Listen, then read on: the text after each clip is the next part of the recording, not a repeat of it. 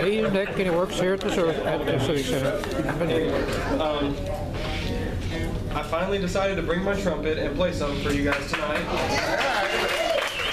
So I'm going to be playing an excerpt from a piece by Maurice Ravel called Bolero.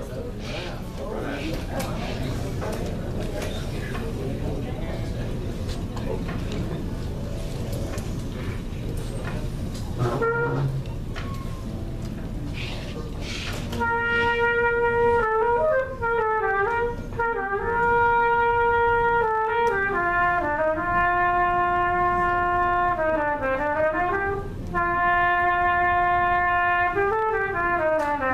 Bye.